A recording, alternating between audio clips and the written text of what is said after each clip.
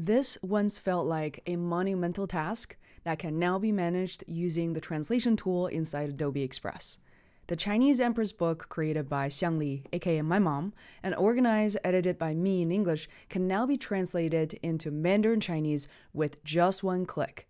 That's right, it's not just one element, one page of the book, but the entire book. You can design books and magazines using Adobe Express, but you can also upload an existing PDF document and be able to translate in minutes. Check it out here. I am showcasing the first 20 pages of the Empress book, and the translation is really good. The most satisfying part was that Adobe Express translations preserve the context of our messaging and content. For example, when it comes to proper nouns such as the Emperor's names, most of what I've seen so far are absolutely correct. If you don't like a certain part of a translated message, you can select that section by clicking on the text box. Select Rewrite and let Adobe AI shine. You have options too, like rephrase, shorten, or lengthen. Even choose to make it inspirational, professional, or personal.